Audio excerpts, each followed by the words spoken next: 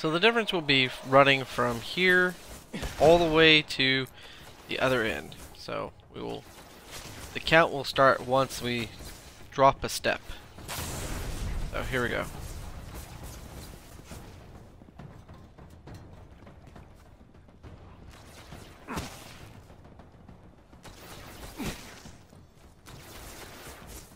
Until we touch this tank.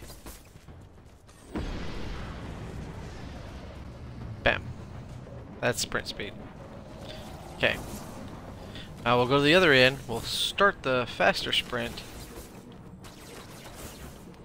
And we'll show a general decreased sprint speed based upon the timeout.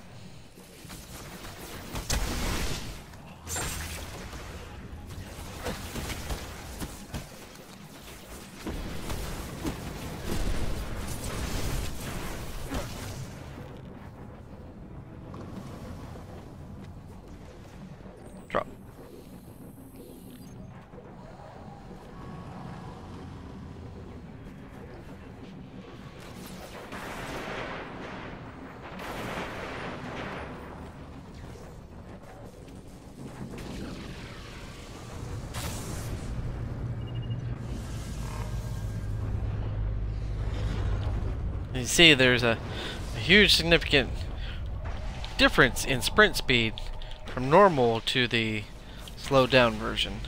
It's like it is pretty pretty significant.